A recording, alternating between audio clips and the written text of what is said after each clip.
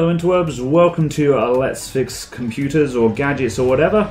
Um, this is my uh, this is my car's dash cam. It's a cheap Chinese eBay jobby that cost like 20 quid or something like that. Uh, and the battery in it has died. Its internal battery is kaput, um, so it doesn't it doesn't start properly um, or very cleanly at all. Uh, and it doesn't save its settings properly because it doesn't have any internal battery to stop it to preserve the settings.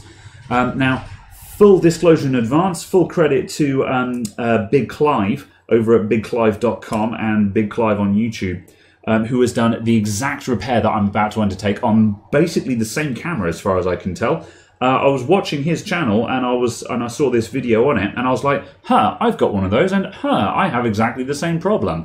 Um, and so yeah, I'm going to do the same repair. So um, uh, basically, we're going to swap the lipo battery out in this and um, hopefully I'll be able to put a slightly larger one in there. Um, although uh, I did my best to try and determine what uh, what size was in there, um, and I was under the impression that it has a 150 milliamp hour um, cell in there. So I've bought a 200 milliamp hour cell that should be ever so slightly larger.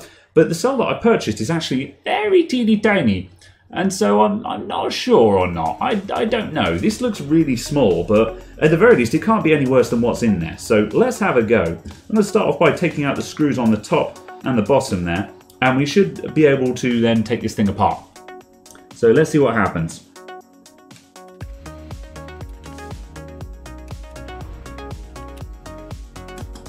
And I should remove the uh, SD card from it as well. Okay, right, so let's try and split this apart. I have to admit, I watched the video quite a few weeks ago and I have not reviewed it before coming back to this, so I'm not going in blind, but I have not refreshed my memory. So if I do a little bit of umming and ahhing, that'll be why. It's not rocket science how this thing goes together though, so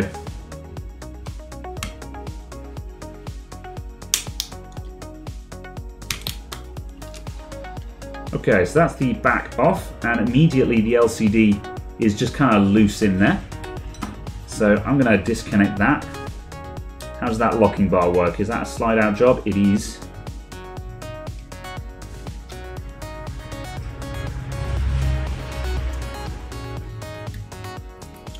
There we go, that's the LCD removed.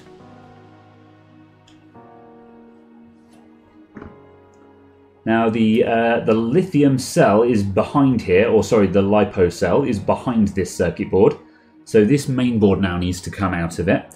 Uh, we've got the speaker there, which I'm going to just pop out there. Yep, tiny little speaker, which does basically nothing, but fine.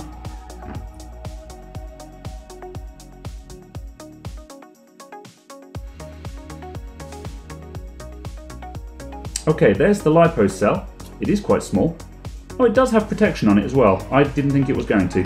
Let's disconnect this main board from the uh, actual camera module there. Now, this one isn't in nearly as poor condition as Clive's was. Just, uh, just get that off the board. However, it doesn't look very happy. It's a little bit puffy. It's okay though. So let's just see what the voltage on that cell is. Ah. It's absolutely stone dead. Now, uh, this cell does have a protection circuit on it, so it most likely, you see that little circuit board, that's the protection circuit, so most likely that has kicked in to try and protect the cell. So what I'll do, I'm just going to peel back. I'm going to replace this thing anyway because I've got like I've got um, a dozen of these tiny little lipo cells. I bought them in bulk because they're they're not expensive from eBay China.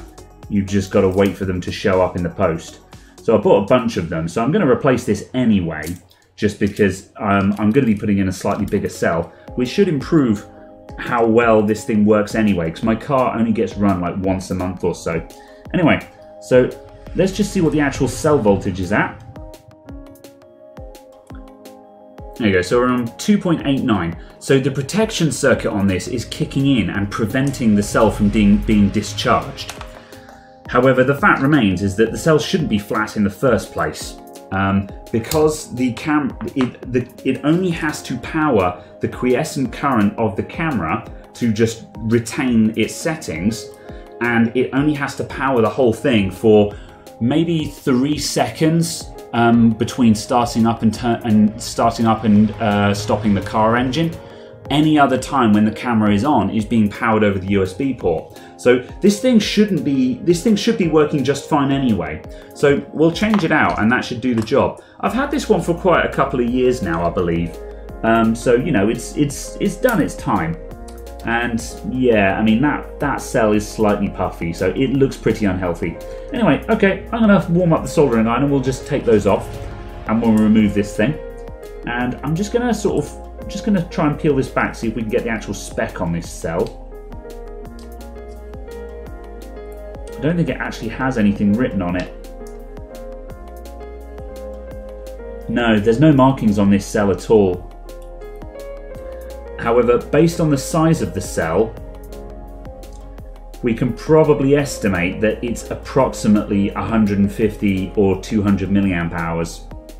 So I probably could have put something that is, I probably could have gotten away with a slightly bigger, like 250 or even 300 milliamp hour cell. Um, so yeah, I, I went conservative because I didn't want to buy a load, wait for them to arrive from China only to find they were the wrong size. But yeah, oh well. So for reference, the cell that I'm fitting, it's a 40 20 30. That's 4.0 millimeters thick, 20 millimeters wide, and 30 millimeters tall. So tall, wide, thick. If you're buying a cell that is great, that is 10 mil or greater thick, then they move the decimal point on this one, which is why if I show you another example cell, this guy here is a 10 47 55 so that's 10 millimeters thick, 47 millimeters wide, and 55 tall. So that's what those codes mean. And that's why this one is 40 and this one is 10, because this one is 4.0 millimeters and that one is 10 millimeters. So that's what the numbers mean. Anywho, uh, cool, let's get the soldering iron on and uh, desolder that.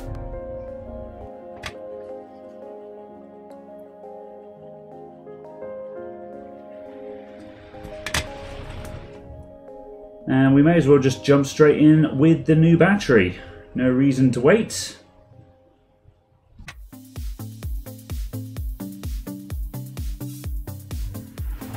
Ugh.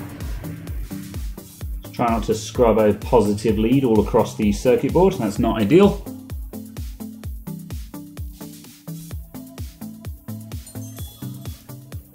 Oh, and it just turned on because it received power.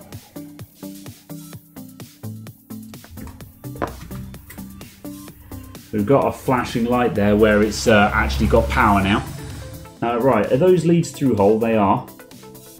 And yeah, they've soldered just fine. Soldering iron off. Uh, right, where's the power button on this? So uh, that's the back. And the power button is the far left button. Hold down. Ah, there we go. It's dead. Okay. Right, and this thing is already well wrapped in Kapton tape, so I'm just going to position that around the back there. And um, we kind of need a double-sided pad to hold it in place, really, but I think I'm just going to uh, stuff it all in. I'm going to be a little bit careful as well. Those wires there just got a little bit bent coming out. I'm surprised at that. So let's carefully uh, get that thing reconnected.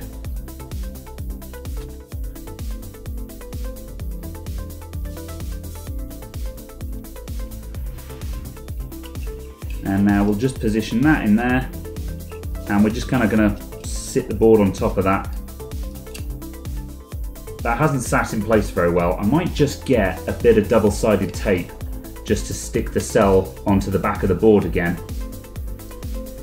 or I might just get good with my stuffing skills. I'll tell you what I'm going to do actually, I'm going to tape it down. I'm going to grab the Kapton tape and just tape it in place. That'll do.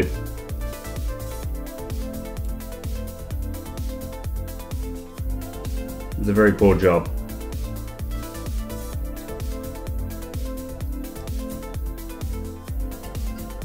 I didn't actually cut that properly in the slightest. This is quite terrible.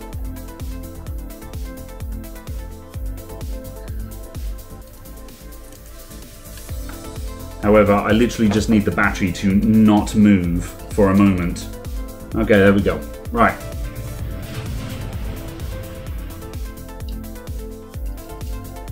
So the ports need to go in first because they need to go through those inserts in the case. And I just need to make sure that the cell wires don't clip anything on the way in. I don't want those to get squashed. I'm just going to poke them into the case.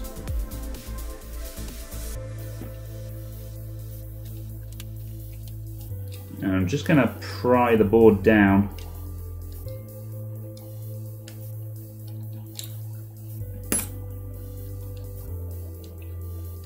Alright, I think that's okay. That seems to be in place. Let's put some screws in it.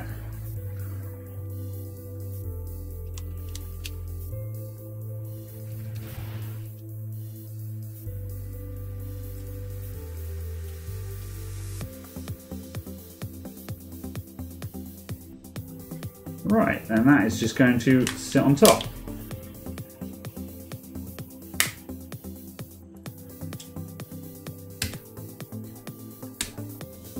Uh, that power button's not right at all.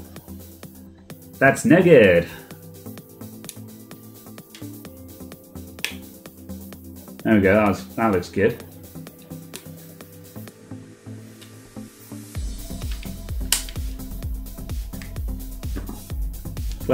Click, click, click, click, click, and click. Okay, it's on. It's in. Everything is fine.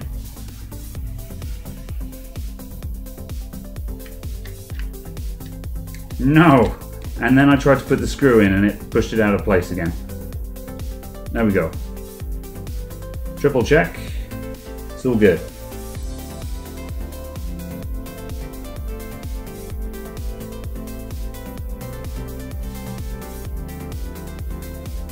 Alright, there we go, that's now recording.